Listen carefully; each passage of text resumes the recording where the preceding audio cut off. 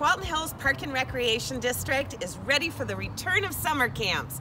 Our staff have been working really hard, are super excited, and committed to providing a fun and memorable experience safely and responsibly for our kids and our staff.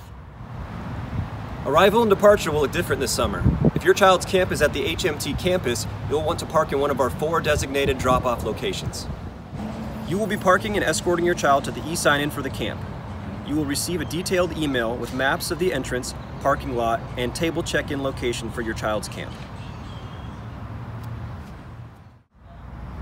At all other summer campsites, Mountain View Park, Raleigh Park, Rivendale Park, camp check-in will be drive-through for arrival and pickup. Parents, guardians, and caretakers will not be parking. You will drive up, answer the very important screening questions, show your ID, and drop your child with staff members. You will also receive a detailed map with locations for these sites.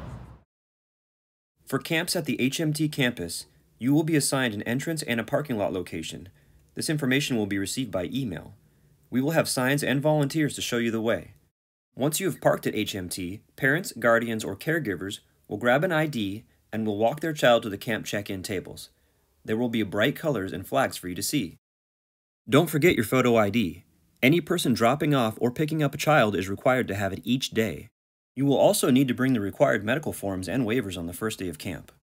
Parents or guardians will be asked to verify the temperature of the child when they left the home. If a parent is unable to verify the temperature, staff will check the temperature at the check-in site.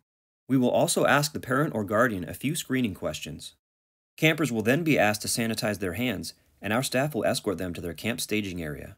All campers will be required to wear a mask if six feet of distance cannot be maintained. THPRD staff will be wearing them at all times. Please note, any child with a fever, cough, shortness of breath, or difficulty breathing should not participate in camp. For the safety of everyone involved, this check-in process will take place daily. While it may take a bit longer than our usual camp drop-off, we want to be sure to make safety our first priority. At the conclusion of camp, children will be picked up at the same location they were dropped off. You will again need an ID, and we recommend a mask for safety. Please remember to maintain social distancing.